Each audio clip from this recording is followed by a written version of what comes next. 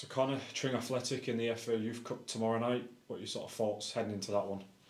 Uh, always, always a big, big occasion for the for the young lads. Um, I think if you ask any of the any of the players in, in football when, when they come for a, a youth team and they have a run in the youth cup, it's something that stays with you. So I was fortunate enough to do that with Watford both years. We got to the quarter final and, and got some excellent memories. So for these lads, obviously it's a good occasion. If please God we can come through and be on the right end of the result uh, tomorrow night. But if we are, hopefully for home they might get a chance to play on the pitch. So it can be a great experience for the lads and.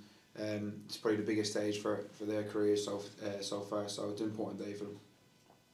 Yeah, so what sort of the preparation like heading into a game like this?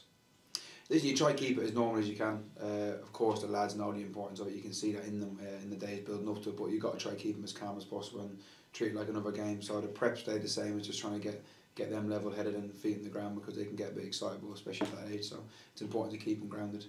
And Tring, the opposition, obviously the host tomorrow night. What do we sort of know about them?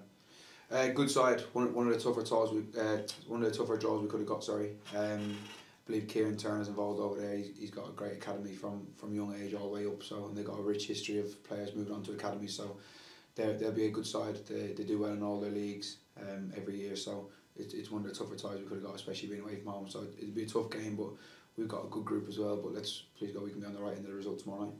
And how does sort of coaching staff do you deal with with the young players heading into a game like this? What sort of said to them pre-hand?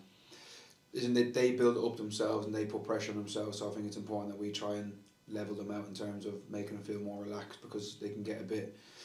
In these games, I often see it can be a bit hectic first 15, 20 because both teams are so excitable and so keen to impress. But it's, it's important to try and calm the game down as early as possible and play a normal game. So I think that would be the message for the lads and just making sure they stay stay relaxed, stay composed, and, and clear in their minds.